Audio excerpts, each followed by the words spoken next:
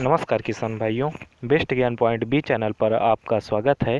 किसान भाइयों, आज की वीडियो में बात करने जा रहे हैं गेहूँ की बहुत ही अच्छी किस्म जी डब्ल्यू तीन सौ बाईस के बारे में। जी हाँ किसान भाइयों, इसकी अवधि क्या है?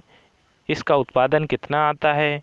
ये मुख्य रूप से कौन से राज्य में बोई जाती है, सब कुछ बताएँगे। लेकिन जो किसान भाई चैनल पर पहली बार आए हैं, वीडियो को नीचे दी गई लाल कलर की बटन को दबा दें और बगल की बेल आइकन घंटी को बजा दें, जिससे आपको हमारी खेती संबंधित नई नई वीडियो समय समय पर मिलती रहे। तो जी डब्ल्यू तीन सौ बाईस, इसका दाना बड़ा व चमकदार होता है। यह ब्रेड व रोटी के लिए उपयुक्त किस्म है। इस किस्म के लिए तीन से चार पानी देना आवश्यक होता है। इसकी अवधि की बात करें कि इसको पकने में कितने दिन लग जाते हैं तो इसको पकने में 115 से 120 दिन लग जाते हैं।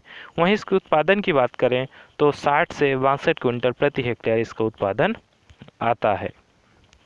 यह किस्म मुख्य रूप से मध्य प्रदेश व उत्तर प्रदेश राज्य में बोई जाती है?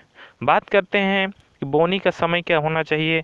तो एक नवंबर से पंद्रह नवंबर के बीच आपको जी डब्ल्यू तीन सौ बाईस किस्म की बोनी कर देनी चाहिए। तो किसान भाइयों, कैसी लगी वीडियो? यदि अच्छी लगी तो वीडियो को लाइक करें, चैनल को सब्सक्राइब करें। कोई सुझाव तो कमेंट दें। जय हिंद, जय किसान।